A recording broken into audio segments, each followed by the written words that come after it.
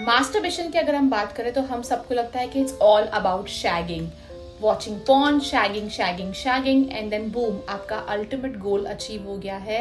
आपने इजैकुलेट कर दिया है। You feel nice and relaxed but do you know mindful masturbation और मास्टरबेशन में बहुत बड़ा डिफरेंस है।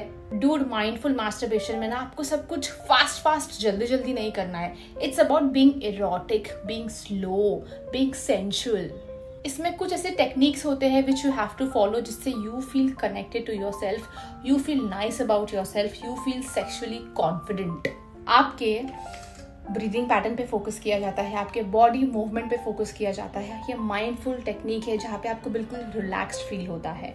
अगर आपको इसके बारे में और जानना है तो प्लीज़ कमेंट सेक्शन चेक कीजिए। मैंने वहाँ पे पिन किया है लिंक को। Check out the link and if you think this is right for you please enrol ये ऑडियो सेशन है men and women both can participate